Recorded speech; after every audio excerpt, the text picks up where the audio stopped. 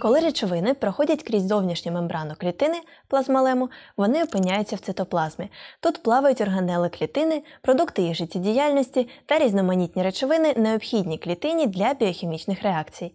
Наприклад, тут плавають амінокислоти, які клітина вбудовує у нові білки під час їх синтезу. Ми розглядаємо тваринну клітину, тому головне тут ядро. Воно оточене двома мембранами, а у зовнішній мембрані є пори. У ядрі знаходиться нуклеїнова кислота, ще один клас біомолекул. Мова йде про ДНК або дезоксирибонуклеїнову кислоту. За структурою ДНК це подвійна спіраль, вона також полімерна. Елементарна одиниця спіралі нуклеотид. Він складається з трьох компонентів вуглеводу, азотистої основи та залишку фосфорної кислоти. Кожен ланцюг спіралі ДНК складається з таких нуклеотидів. Коли два ланцюги з'єднуються, ззовні опиняються фосфати, а всередині азотисті основи. Саме азотисті основи з'єднують спіралі ДНК за допомогою водневих зв'язків. Азотистих основ у ДНК 4 аденін, гуанін, тимін і цитозин. З'єднуються між собою лише комплементарні основи, тобто такі, які чітко відповідають одна одній. Комплементарними є аденін і тимін, позначаються А та Т. Гуанін і цитозин позначається Г С. Генетичний код це послідовність азотистих основ. Так само, як одинички та нулі в бінарному коді комп'ютера, чотири нуклеотиди кодують генетичну інформацію в молекулі ДНК. ДНК у ядрі розташована компактно. Для цього спіраль ДНК накручено на білки гістони. Це білки з потужним позитивним зарядом. Фосфати зовні ДНК заряджені негативно, тому подвійна спіраль легко прилипає і накручується на позитивно заряджені гістони.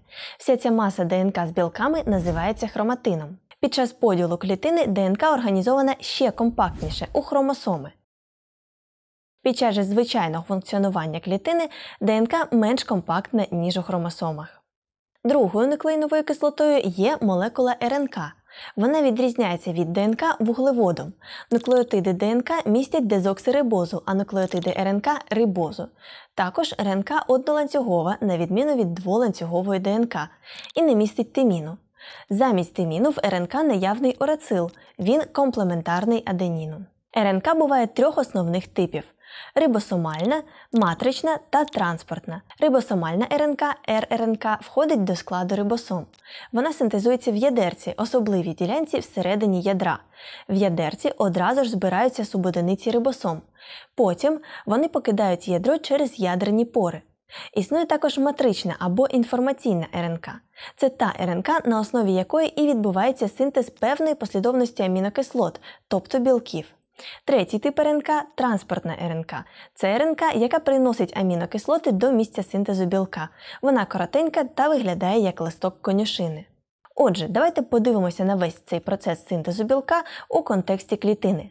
Нехай синтез білка це процес випікання торту.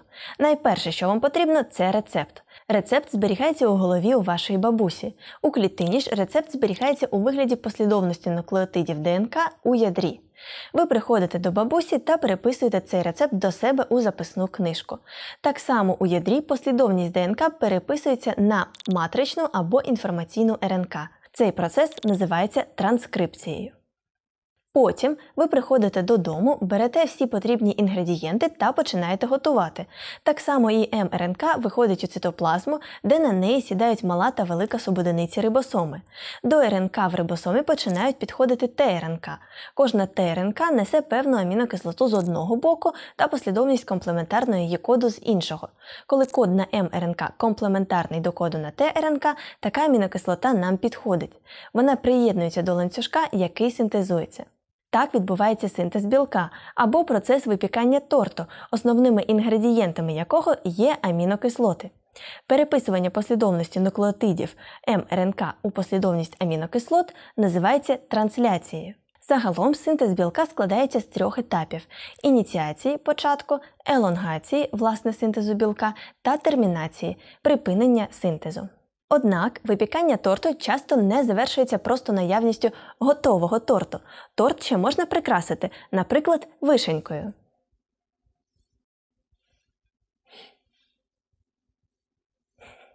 Модифікації після трансляції відбуваються із білком.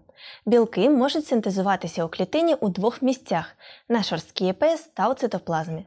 На шорсткій ЕПС знаходяться рибосоми, тому вона і виглядає шорсткою. Ті білки, які синтезуються тут, потім зазнають модифікації в апараті Гольджі. Тут на них і додають вишеньку. В апараті Гольджі білки запаковуються в одномембранні пухарці, везикули та йдуть на експорт до інших клітин. У цитоплазмі ж синтезуються білки для власних потреб клітини, і шорстка ЕПС і апарат Гольджі одномембранні органели. Також у клітині наявна гладенька ЕПС.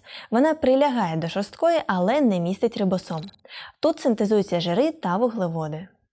Отже, ми розглянули ядро, ЕПС та апарат Гольджі. Всі вони беруть участь у синтезі білків, головних робітників клітини. Спочатку інформація про послідовність амінокислот у білку зчитується з ДНК у ядрі на МРНК, а потім з МРНК на рибосомі в цитоплазмі або на шорсткій ЕПС синтезується поліпептид білок із багатьох амінокислот.